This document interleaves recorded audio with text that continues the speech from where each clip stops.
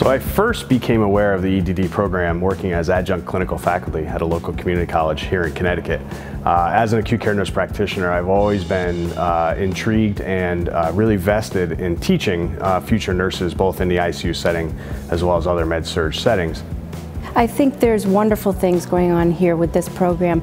I have developed great collegiality and friendships with my peers. The cohorts are really small, so we get to know each other one-on-one. -on -one. I learn something new every single day, whether it be from my faculty or from my peers, and it's a great network. One of the benefits of this program is that it allows us, once we graduate, to go out and obtain jobs in academia where we can really put to practice the things we've learned in the program.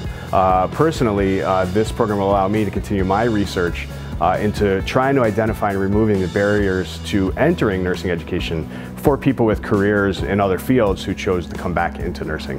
Uh, so I think that it's positioned me very well uh, for my own future as a nurse educator. The program is designed to prepare master's level nurses to enact the faculty role.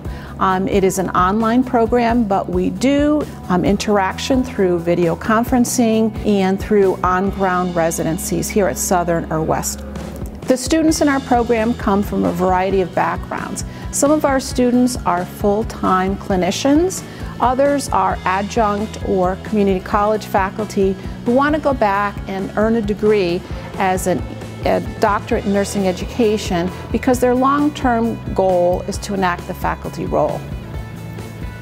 I think if I reflect back on why this was a great place to come, it's because I have never been given anything but opportunities to succeed.